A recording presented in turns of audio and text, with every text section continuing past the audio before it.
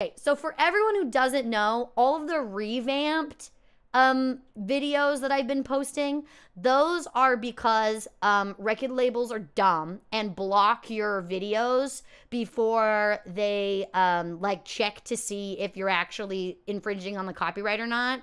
Um so generally what happens is the record label where will copyright claim it and demonetize your video but won't block it. And so you have to contest the claim.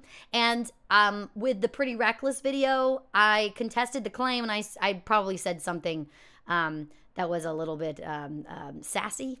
Um, and I said, hey, um, could you please like take the copyright claim or unblock this? Could you unblock it, basically? And sometimes they'll unblock it and they'll take the copyright claim off of it. Most of the time, they just unblock it because they some bitches.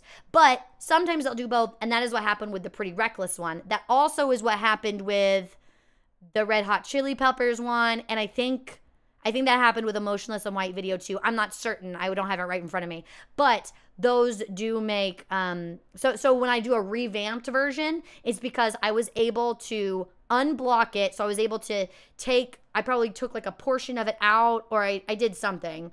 Um and um th- then the revamped version is hey, I was able to put it out in its like all of its entirety as opposed to like just because I think in the Pretty Reckless video, I had like a big chunk of the video that was like blurred. And so with this, I'm able to actually give it to you in the way it's supposed to give it to you. And it's monetized, baby, for the time being. I don't know if that can change or not.